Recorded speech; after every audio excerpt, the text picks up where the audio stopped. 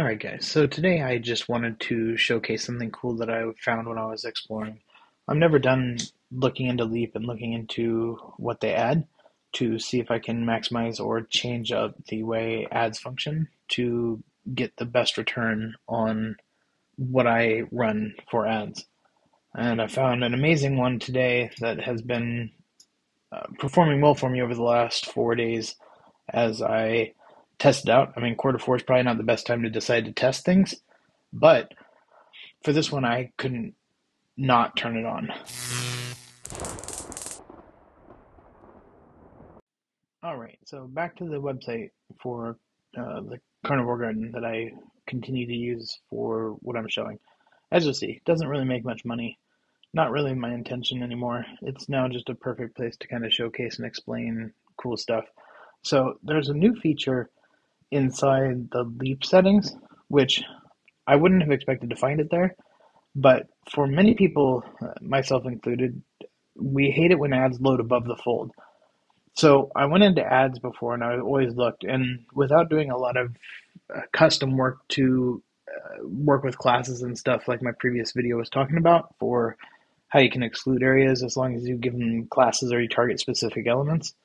Uh, this way, that they added only recently and didn't tell anybody about allows you to just eliminate them above the fold and not have to worry about it anymore.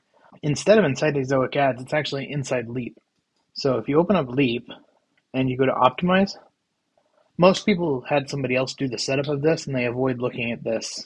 Like their focus is fully on not looking at Leap. But they're missing important things. So what you'll need to do is go into here and do change settings, which will then allow you to edit it and then you go to script execution. What's interesting is inside this is a new thing that wasn't there before. Now there's this. Disable ads above the fold. So what I did is turned it on. I turned it on on all my sites. So now my content loads and the focus is just on the content and getting them onto the page and started reading. And the ads can be below fold and to this point so far, I've experienced no loss in income. If anything, I'd argue that my income has actually increased over the last couple of days is that people are reading more of the post because they're not getting ads and having content shift above the fold. So they're getting in, they're starting to read, and by the time they're reading, the ads are starting to show up and they don't care anymore. So they read longer and I get more impressions, so I make more money.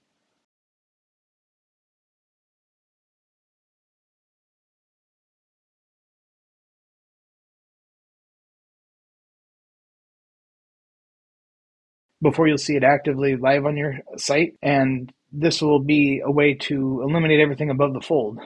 And you should uh, see some benefit. I can't say it's Q4, so please don't make choices just based on hoping that you're going to make more money. If you're going to make the change, be aware it could give you negative impact too. Every site's kind of different.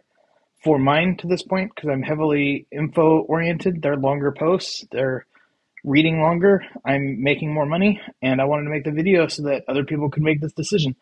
I didn't know it was there until just, um, I think, four days ago when I was in here looking around to see if anything had changed, and I was amazed. So let me know in the comments if you think this is cool or if you're going to turn this on. I'll continue to let it run. As to income, you can tell like the money didn't ginormously change, but you can say like right after I made the change, it peaked up and it went back down again. But as you can see with this little traffic, the numbers are kind of less useful. The bigger your site is, the more impact you'd probably see, whether it's to the top side or would make you less money. I can't tell you for certain, but let me know. I'd like to know if anyone else is interested in this or if they're just going to run it anyway because they like the user experience side of it.